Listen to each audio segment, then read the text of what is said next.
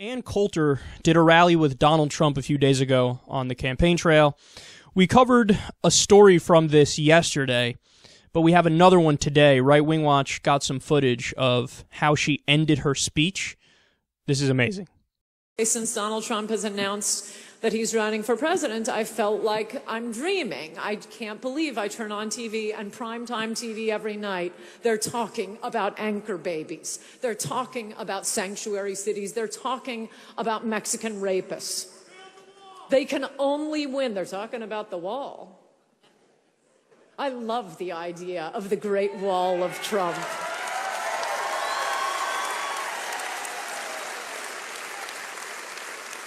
I want to have a two drink minimum, make it a big worldwide tourist attraction, and everyday live drone shows whenever anyone tries to cross the border. I have not had this much hope for America since November 7th, 2012. No particular reason. I was just rather depressed that day. And now I think it's like Joseph in the Bible. He had to be sold into slavery, imprisoned, betrayed, so that eventually he could save the Jews. Maybe Mitt Romney had to lose. And maybe we had to give Republicans one more chance in 2014. And maybe Mitch McConnell and John Boehner had to betray us once again to pave the way for President Donald Trump. God hasn't given up on America yet. Thank you. God hasn't given up on America. God wants Donald Trump to be president. She's a Christian. Jesus wants Donald Trump to be president. Jesus does. You sure? There's this great meme going around the internet right now which shows like a picture of Jesus and a picture of Bernie Sanders, and it says like Jewish, Jewish, was a carpenter, was a carpenter, socialist, socialist, and I think it says some other stuff too. By the way, I have no idea if it's true that Bernie Sanders was a carpenter, but either way, it's funny, and the the spirit of the point is certainly true.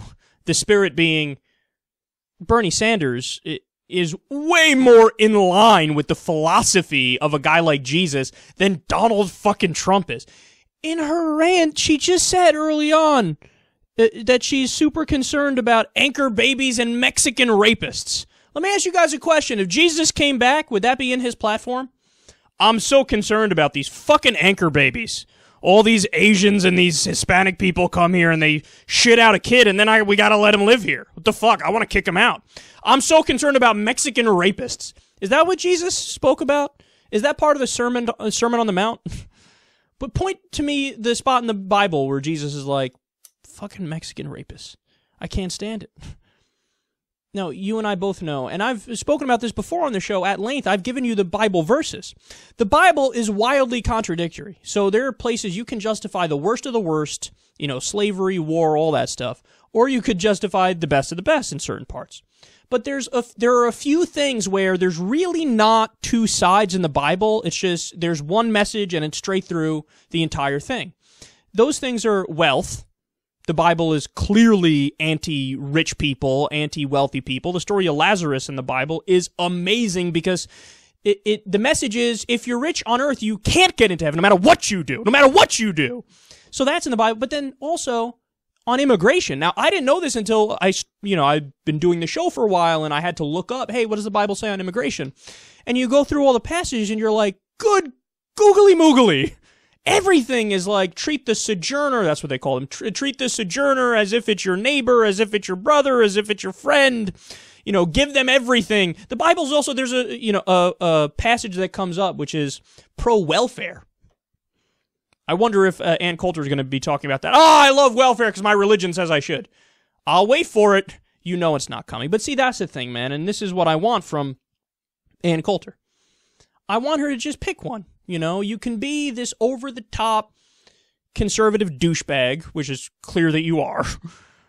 or you could say, okay, I, I am a Christian and I do know that on some issues there's no contradiction, so I can't choose to be a bad person, and I'm pro immigration. So, you know, be a conservative douche in some ways, but be liberal on immigration and be liberal on taxing the rich. Because there, there are no two interpretations in the Bible. It's perfectly clear. So, which is it? Pick one.